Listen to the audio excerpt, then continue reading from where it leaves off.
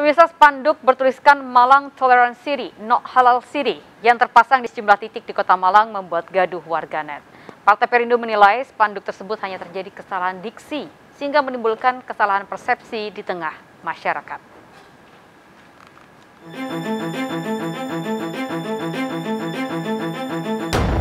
Kota Malang dihebohkan dengan spanduk bertuliskan Malang Tolerance City, Not Halal City. Spanduk yang terpasang di depan balai kota, gedung DPRD, dan bundaran alun-alun Tugu Kota Malang ini membuat heboh warganet. Ketua DPP Partai Perindo Kristoporus Taufik angkat bicara mengenai kegaduhan tersebut.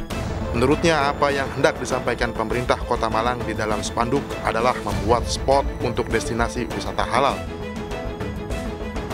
Narasi yang dibangun apa penyampaian pemilihan eh, terminologinya yang menimbulkan salah paham malah menimbulkan juga uh, kecurigaan jangan-jangan memang itu yang mau dilakukan gitu. Nah, kalau itu yang mau dilakukan memang jadi masalah. Tapi kalau sebatas wisata halal saya pikir enggak, enggak ada masalah. Sebagai putra asli Kota Malang, Ketua DPP Partai Perindo Kristoporus Taufik meminta Pemkot Kota Malang untuk lebih berhati-hati dalam memilih diksi sehingga tidak menimbulkan kegaduhan di masyarakat. Dengan diksi yang tepat, pemerintah Kota Malang dapat mempromosikan beragam spot wisata menarik yang dapat dikunjungi masyarakat. Tim Liputan iNews melaporkan.